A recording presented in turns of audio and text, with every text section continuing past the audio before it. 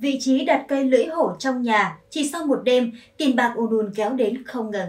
Xin được mến chào quý vị và các bạn đang theo dõi chương trình Phong thủy Gia Cát. Quý vị thân mến, theo quan điểm của phong thủy tâm linh, việc trồng cây theo tuổi cũng là một trong những yếu tố quan trọng góp phần ảnh hưởng đến sự nghiệp, vận mệnh và tài lộc của chủ nhân. Đây không chỉ là một yếu tố liên quan đến vượng khí của ngôi nhà mà còn có tác dụng thu hút may mắn, hồng phúc, giúp cho gia chủ đại cát đại lợi. Trong muôn vàn loài cây phong thủy đang được bày bán trên thị trường, thì cây lưỡi hổ đang được rất nhiều người ưa chuộng. Loại cây này có thể nói rằng không chỉ đẹp, có sức hút mà còn mang đến nhiều ý nghĩa về phong thủy, đồng thời tác động tốt đến sức khỏe của con người. Đó là một điều rất bất ngờ. Và trong chương trình ngày hôm nay thì Phong thủy Gia Cát sẽ chia sẻ với các bạn về ý nghĩa của cây lưỡi hổ trong phong thủy, trong đời sống hàng ngày và cũng như là cách Ờ, bố trí vị trí trưng bày cây này làm sao để phát huy tối đa tác dụng, giúp thu hút tài lộc, vận may cho ngôi nhà của bạn. Nào, xin mời quý vị cùng lắng nghe. Thầy phong thủy chỉ vị trí đặt một cây lưỡi hổ trong nhà chỉ sau một đêm tài lộc đổ về ào ào. Một, Ý nghĩa cây lưỡi hổ trong phong thủy Không chỉ có ý nghĩa về mặt cuộc sống, mà cây lưỡi hổ còn có ý nghĩa lớn trong phong thủy. Cây lưỡi hổ được đặt trong nhà sẽ mang đến nhiều ý nghĩa và điều may mắn cho gia chủ. Một số nước phương Đông như Trung Quốc, Nhật Bản, cây lưỡi hổ tượng trưng cho sức mạnh của Chúa Sơn Lâm. Vì vậy, cây lưỡi hổ được đặt trong nhà như là một biểu tượng của sức mạnh chống lại những điều thị phi trong cuộc sống hàng ngày. Theo quan niệm của văn hóa phương Đông, cây lưỡi hổ được xem như là một loại cây phong thủy có tác dụng trừ tà, đuổi ma, chống lại bùa ngải rất hiệu quả. Không chỉ các nước phương Đông mà Thổ Nhĩ Kỳ, cây lưỡi hổ cũng được làm cây trồng trong nhà với mong muốn giúp bảo vệ gia đình họ tránh những điều xấu xa, với những chiếc lá hình dáng như lưỡi dao giúp họ bảo vệ ngôi nhà của bạn khỏi những điều xấu xa. Đó cũng chính là lý do mà nhiều gia đình, cơ quan, công ty, doanh nghiệp đặt cây lưỡi hổ trong không gian giúp cho phong thủy tốt. Ngoài ra, cây còn mang ý nghĩa may mắn, giúp cho gia chủ phát tài, phát lộc, rồi giao tiền bạc, nên có thể là loại cây cảnh quà tặng cho đối tác, bạn bè, người thân trong những dịp mừng tân gia năm mới. Đặc biệt, đặc điểm của cây lưỡi hổ đó là lá mọc thẳng, thể hiện sự quyết đoán và ý chí tiến lên trong cuộc sống. Vì vậy, việc trồng cây lưỡi hổ trong nhà rất quan trọng bởi cây lưỡi hổ mang ý nghĩa may mắn, giúp cho gia chủ phát tài, phát lộc, dồi dào tiền bạc. Vì thế, nó có thể là một món quà để đem tặng đối tác, bạn bè, người thân vào những dịp như là mừng tân gia, mừng năm mới. Nên đặt cây lưỡi hổ trong nhà bạn ở các vị trí như Đông, Đông Nam để phát huy tác dụng của cây lưỡi hổ tốt hơn.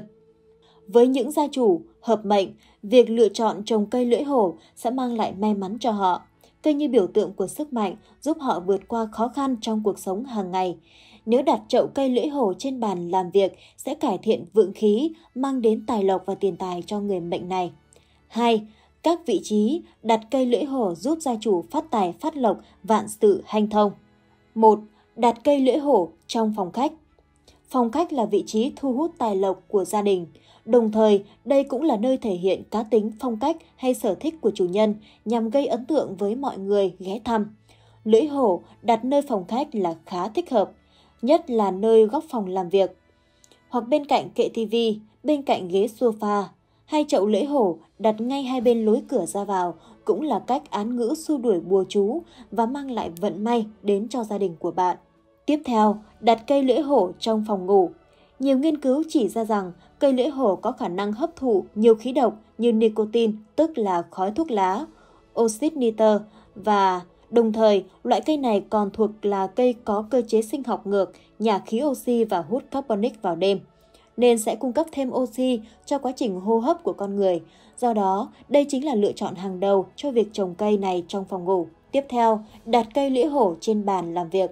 Ngoài những chậu cây lưỡi hổ, nội thất cao từ 1 mét trở lên, cây này còn có nhiều loại mini như lưỡi hổ thái, lưỡi hổ vàng. Vị trí đặt cây lưỡi hổ mini thích hợp nhất vẫn là trên bàn làm việc. Chúng vừa hút tia tử ngoại từ máy tính, đem lại không gian làm việc trong lành, vừa giúp cho công việc của bạn thêm hanh thông thuận lợi. Tiếp theo, đặt cây lưỡi hổ trong phòng tắm. Cây lưỡi hổ là loại cây ưa bóng râm, có thể sống trong phòng thiếu ánh sáng trong một khoảng thời gian dài. Kể cả khi độ ẩm và áp suất trong phòng tắm cao thì điều ấy cũng không làm ảnh hưởng đến sự sinh trưởng và phát triển của cây này.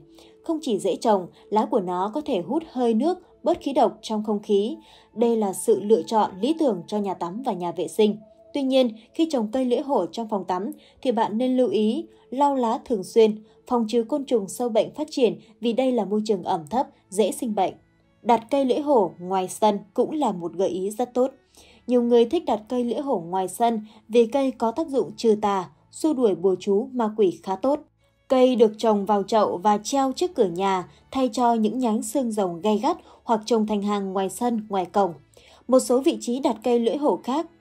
Ở nhiều nơi khác, chúng ta có thể dễ dàng bắt gặp cây lưỡi hổ được trồng trang trí. Đó có thể là cơ quan làm việc, nhà hàng, khách sạn, quán cà phê hay công viên. Sở dĩ cây được trồng ở nhiều nơi như vậy bởi đây là loại cây lọc không khí rất tốt, lại không cần quá nhiều công chăm sóc. Đặc biệt, cây cảnh phong thủy này còn mang đến nhiều điều tốt đẹp và năng lượng tích cực cho người trồng. Do đó chúng ta thấy cây lưỡi hổ ở mọi nơi cũng là điều dễ hiểu. Lưu ý thêm, dù bạn đặt cây lưỡi hổ ở đâu thì cũng cần phải chú ý đảm bảo đầy đủ điều kiện cần thiết để cây sinh trưởng một cách bình thường. Cây cần đất tươi, dễ thoát nước, sống được trong bóng dâm nhưng cũng cần ánh sáng để phát triển tốt, đồng thời nhớ quan sát và cứu chữa kịp thời các bệnh thường gặp của cây lưỡi hổ. Quý vị thân mến, trong phần đầu của video ngày hôm nay của Phong thủy Gia Cát thì đã chia sẻ về ý nghĩa sâu sắc của cây lưỡi hổ trong phong thủy cũng như là các vị trí phù hợp để bài trí loại cây này giúp nâng cao tài vận và chiêu dụ tài lộc cho chủ nhân. Nhưng mà các bạn cũng có biết rằng là bên cạnh ý nghĩa tâm linh thì cây lưỡi hổ còn có nhiều tác dụng tuyệt vời trong đời sống hàng ngày, có thể góp phần nâng cao chất lượng sức khỏe và có thể nói rằng là cũng có thể gia tăng được lượng không khí giúp cho cuộc sống của bạn ngày một tốt hơn. Đồng thời với đó là cách để chăm sóc cây lưỡi hổ sao cho chính xác và khoa học để cây luôn tươi tốt, vận khí trong nhà theo đó mà tăng lên. Xin mời quý vị cùng lắng nghe và làm theo nhé. 1.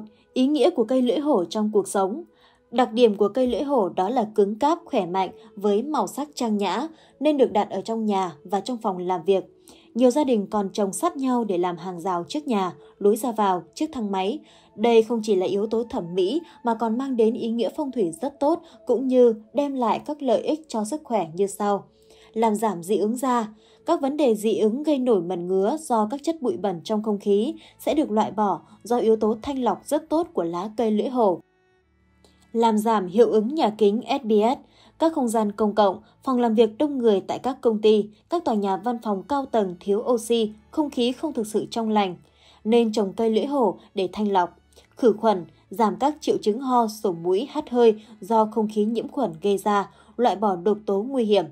Các nhà nghiên cứu bao gồm cả những nhà nghiên cứu do NASA thực hiện đã chỉ ra rằng cây lưỡi hổ sẽ loại bỏ các độc tố như nitơ oxit, có nghĩa là các khu công nghiệp, nhà máy ô tô, cửa hàng, sân bay, ván ép, thảm, nhà sản xuất sơn, nơi mà các hóa chất này có rất nhiều các sản phẩm được sản xuất và sử dụng. Vì vậy, nên đặt một chậu cây lưỡi hổ xung quanh không gian sẽ có lợi hơn cho sức khỏe, tạo nên giấc ngủ ngon. Khác với những loại cây khác, thường nhả khí CO2 vào ban đêm, cây lưỡi hổ ban đêm hấp thụ độc tố qua lá cây và nhả ra oxy tinh khiết, tạo cho môi trường trong lành cho giấc ngủ ngon. Nhiều nghiên cứu cũng cho thấy rằng cây lưỡi hổ có tác dụng lọc sạch không khí, hấp thụ 107 loại độc khí và đem lại không gian trong sạch. Vì vậy, những căn phòng có nhiều thiết bị điện tử như máy tính, tủ lạnh hay TV thì một chậu cây lưỡi hổ sẽ giúp cho không gian sống của bạn trong lành hơn. Trong cuộc sống, cây lưỡi hổ còn có tác dụng nữa, đó là hạn chế hội chứng nhà kính. Đây là tình trạng con người sẽ thấy mệt mỏi khi sống ở những không gian như chung cư, cao tầng, văn phòng làm việc không thoáng khí. Chính vì vậy, những căn nhà trên cao hay tòa nhà cao ốc thường lựa chọn cây lưỡi hổ để trồng. Đặc biệt, nếu bạn đặt cây lưỡi hổ trong phòng ngủ, ban đêm, chúng sẽ giải phóng oxy tốt cho hoạt động hô hấp của con người. Còn nếu đặt trong phòng làm việc sẽ giảm stress bởi màu sắc tươi sáng, tạo cảm giác thư thái. Ngoài ra cây lưỡi hổ còn có tác dụng đó là chữa ho, chữa bệnh viêm họng và khản tiếng rất tốt. Tuy nhiên sử dụng cây lưỡi hổ để chữa bệnh như thế nào thì bạn nên tìm hiểu kỹ trước khi sử dụng. 2. Cây lưỡi hổ hợp với mệnh và tuổi nào? Một cây trồng tốt với phong thủy và sức khỏe như vậy chắc chắn ai cũng mong muốn trồng cho không gian sống của mình. Tuy nhiên, để yếu tố phong thủy đạt hiệu quả nhất, bạn cũng nên chú ý đến việc lựa chọn cây trồng theo tuổi. Vậy cây lưỡi hổ hợp với mệnh nào? Nếu bạn quan sát sẽ thấy lá của cây lưỡi hổ có màu xanh và viền màu vàng với hình nhọn giống lưỡi dao. Đây là những gam màu phù hợp với người mệnh thổ và kim. Vì vậy, cây lưỡi hổ từ trước đến nay được xem là bùa hộ mệnh tương sinh cho người mệnh thổ và mệnh kim. Những người mệnh thổ và mệnh kim có màu bản mệnh là màu vàng. Vì vậy, với màu sắc của cây lưỡi hổ, đây sẽ là yếu tố phong thủy bổ sung cho hai mệnh này trong cuộc sống. Cây lưỡi hổ sẽ giúp cho hai mệnh này phát huy được vận thế tốt, sự nghiệp thành công, nhiều việc thuận lợi và hanh thông. Người mệnh thổ và mệnh kim khi lựa chọn cây lưỡi hổ trồng trong nhà nên chú ý đến không gian xung quanh để lựa chọn kích thước cây cho phù hợp và nên đặt ở hướng nam. Đối với những ngôi nhà có diện tích nhỏ, tầm trung, gia chủ không nên chọn cây cảnh quá to và rậm rạp sẽ làm giảm đi ánh sáng chiếu cũng như không gặp được nhiều may mắn. 3. Cách trồng và chăm sóc cây lưỡi hổ Cây lưỡi hổ thuộc loại cây cảnh chịu được khô hạn, không cần tưới nước nhiều và không tốn công chăm sóc. Các cây có khả năng chống chịu sâu bệnh và thích hợp với nơi sáng. Và cũng có thể là ở trong bóng dâm không sao. Cách chăm sóc Chuẩn bị đất trồng cây lưỡi hổ Bởi vì điều này chúng ta cần phải chú ý. Khi mà cây lưỡi hổ dễ chết do ngập úng nước, vậy đất trồng cần phải có độ tơi xốp, thoát nước nhanh. Sử dụng đất vi sinh tổng hợp có độ mùn và thoát nước rất tốt là phù hợp nhất. Nước không cần tưới nước nhiều nếu như cây đặt trong nhà thì chỉ cần 2 đến 3 tuần là một lần tưới nước. Ánh sáng là cây ưa bóng dâm, ánh sáng yếu, không chịu được nắng gắt khoảng 2-3 tháng, bạn mang cây ra bên ngoài trời một lần là được. Thời gian từ 7 giờ đến 9 giờ sáng rồi lại mang vào trong nhà, như vậy là tốt nhất. Nhiệt độ, tránh đặt cây tại các vị trí nhiệt độ quá cao, trên 33 độ C. Nhiệt độ lý tưởng cho cây phát triển là từ 18 đến 30 độ. Dinh dưỡng, bón phân lân NPK cho cây trong giai đoạn phát triển từ 3 đến 4 tháng một lần. Bón thúc cách từ gốc 10cm, mùa đông thì không cần phải bón phân. Về sâu bệnh, cây lưỡi hổ chống chịu sâu bệnh rất tốt, chú ý cây thừa hay thiếu nước, ánh sáng mạnh hay ánh sáng yếu, dựa vào màu sắc của lá để tinh chỉnh cho phù hợp. Hy vọng là những thông tin vừa rồi đã giúp cho quý vị và các bạn hiểu rõ hơn về ý nghĩa của cây lưỡi hổ trong phong thủy cũng như cách bài trí và chăm sóc loại cây này. Tuy nhiên, bạn cũng nên lưu ý tránh lạm dụng trồng quá nhiều cây này sẽ dẫn đến thiếu oxy và gây phản ứng ngược. Khi đó, không chỉ đi ngược phong thủy mà còn ảnh hưởng trực tiếp đến sức khỏe của bạn cũng như các thành viên trong gia đình. Rất cảm ơn quý vị và các bạn đã quan tâm theo dõi chương trình. Đừng quên đăng ký kênh youtube của Phong thủy Gia Cát, nhấn vào biểu tượng quả chuông để nhận thông báo và đón xem chương trình mỗi ngày quý vị nhé. Còn bây giờ thì Diễm Quỳnh xin mến chào và hẹn gặp lại. Quý vị nếu thấy video này hay và hữu ích thì đừng quên nhấn like nhé.